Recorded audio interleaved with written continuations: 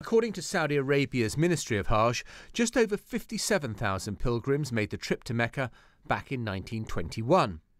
Fast forward to 1996, and that number has shot up to more than 1.8 million pilgrims.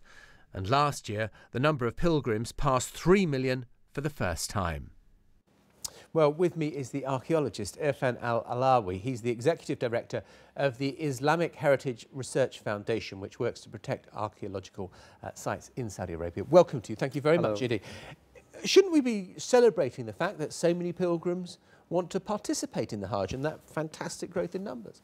Well, of course we should, and uh, the plagues are increasing every year, but not at the cost of the destruction of the historical sites over the past 60, 70 years that we are losing every day as we speak. And of course, there is a need for expansion, but not at the cost of losing the Prophet's birthplace or where he lived. Okay, well, so what is the problem with it? Let's get down to specifics. I mean, uh, let's look at examples. Well, for example, I mean, recently, over the past two years, they've started dismantling the Ottoman porticos. Now, these are dating back 330 years, uh, built by the famous Mimar Sinan, the Ottoman architect.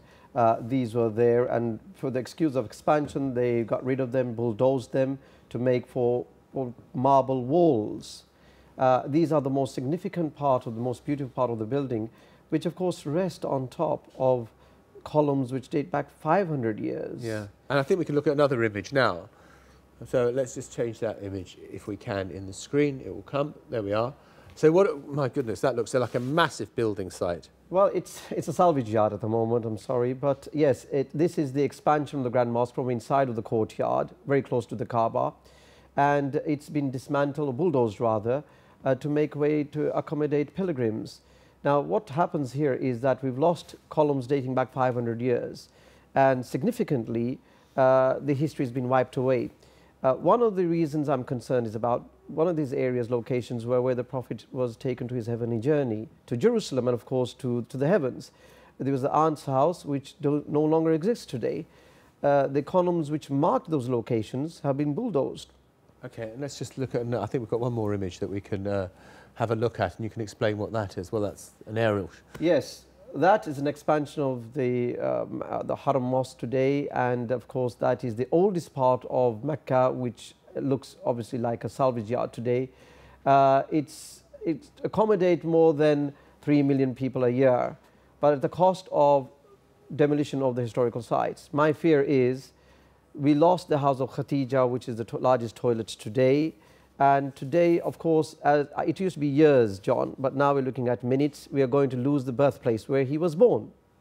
So, Irfan, what is the solution to this? Because surely, if you have three million people there, and we've heard about stampedes and loss of life and all the rest of it, you have to be able to accommodate all those people who want to make the pilgrimage. Of course, there is a way, there's a system like any other country in the world that you have to develop the expansion and so If you walk out of the Haram or the Grand Mosque, two miles away, there's vast desert, there's land, there's ample space to build skyscrapers if they like, not near the vicinity of the Grand Mosque. This is in the Quran, it's a sanctuary, it's a holy sanctuary, it's not like any other city. Another example is you don't build anything near the Vatican or the White House. Uh, for example, if a brick is touched or removed in Jerusalem, in Al-Aqsa or the Mosque of the Rock, Muslims come out protest. But when something has been bulldozed or dynamite in Mecca and Medina, the Muslims remain silent. So, I mean, I just wonder, are the Saudi authorities listening? Well, yes and no. They only listen if they, uh, if they have bad publicity outside the kingdom. But within the kingdom, you can start doing protests, whatever, no one's interested. But my aim here is that, of course, we have monuments which are being demol demolished in Syria. That is a civil war. In Mecca or Medina, there's no civil war in the Kingdom of Saudi Arabia.